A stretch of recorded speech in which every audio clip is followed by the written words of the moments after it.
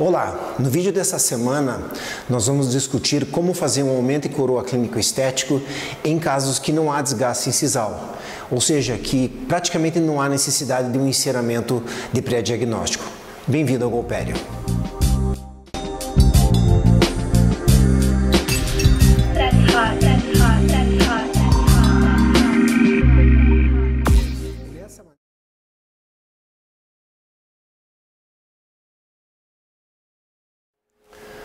Bom, para você é, fazer um plano de tratamento de um aumento de coroa clínico estético, principalmente pacientes jovens que não possuem o desgaste incisal, você não precisa fazer com um encerramento de diagnóstico. Nós temos hoje uma ferramenta chamada sonda de Chu, né, desenvolvida em Nova York, em que ela faz uma análise de proporção dentária. E nós sabemos que a proporção dentária Independente se o dente é grande ou pequeno, ele mantém uma proporção de altura e de distância. Quando você utiliza essa sonda, você vê várias marcações.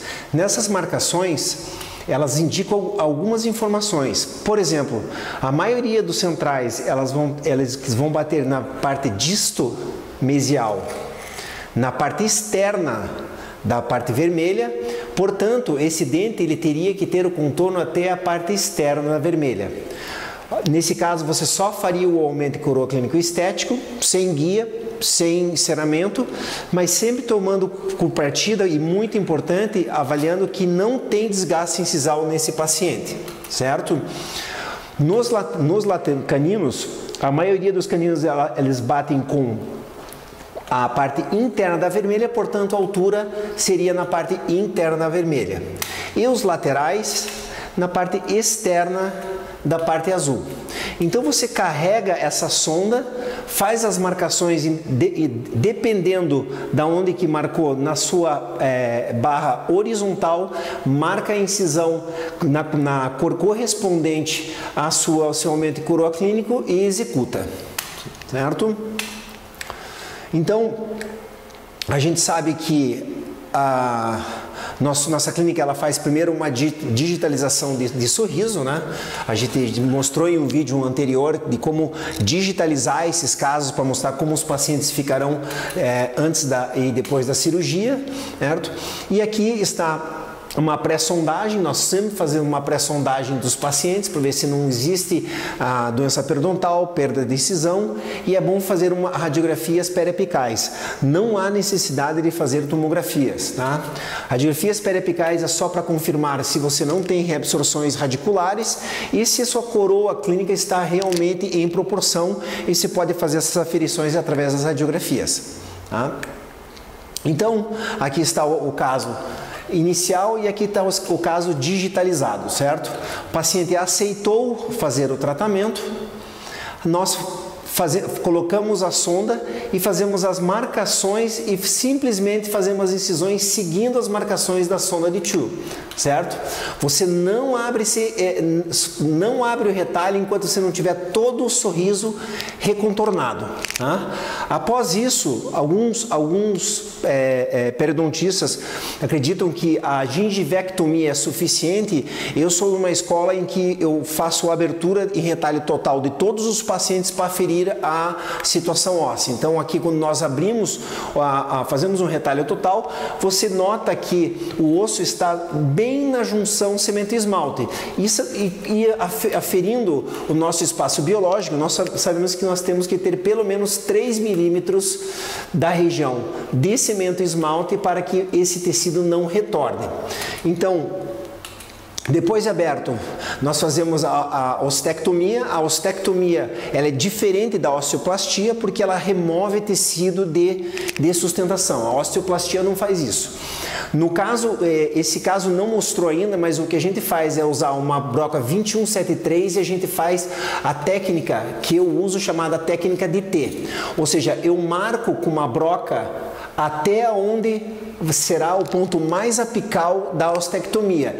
E depois eu termino essa ostectomia usando brocas diamantadas ou cinzéis. Cinzéis somente no final, certo?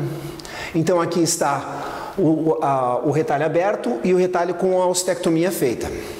A sutura, sutura, eu gosto de usar o Vicril, Tá? O Vicryl ele tem que ser utilizado sempre é, umedecido, certo? Você pode usar a sutura que você quiser e eu gosto de usar o 5.0 para ter um pouco mais de firmeza. 6.0 eu acho ele um pouco fino.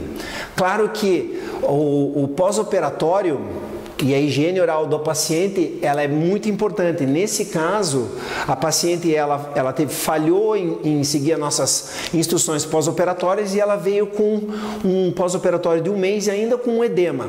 Nesse caso, em 30 dias, nós fazemos só uma, uma osteoplastia, uma, desculpe, uma gengivoplastia, certo?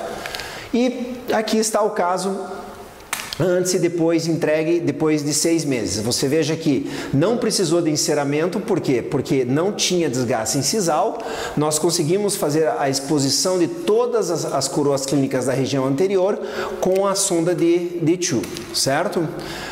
Uma outra, um outro caso esse é um caso que a gente também fez as aferições e olha só, de novo, central batendo na distal e aqui você vê que essa clínica, a coroa clínica está curta, não há desgaste incisal. Portanto, o, nossa, o nosso recontorno terá que ser, claro que distalizado, mas em pacientes femininos, mas seguindo essa, essa marcação da sonda. Apenas marca a sonda e você começa a fazer o recontorno desse sorriso sem precisar fazer qualquer tipo de guia, certo? Aqui está o caso entregue antes e depois, tá? Digitalizado, perdão, essa é, essa é a porção digitalizada, como que o sorriso vai ficar e a abertura, primeiro a, a, as incisões com, com com, como eu disse anteriormente, aqui mostra-se o nível ósseo.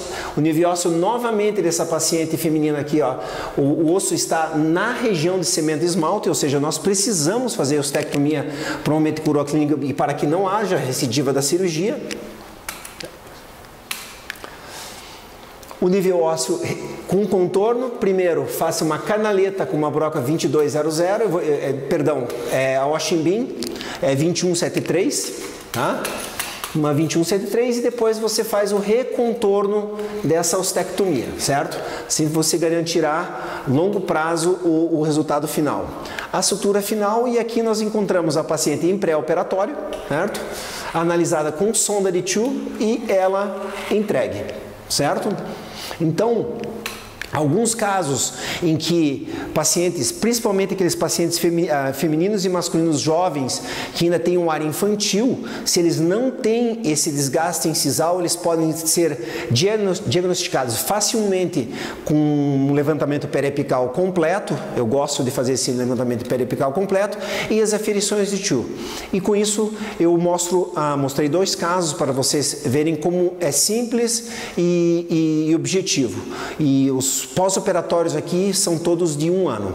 Eu agradeço a todos pela, pela visualização dos vídeos, continue assistindo os nossos vídeos. Meu nome é Ricardo Gapski e até a próxima semana.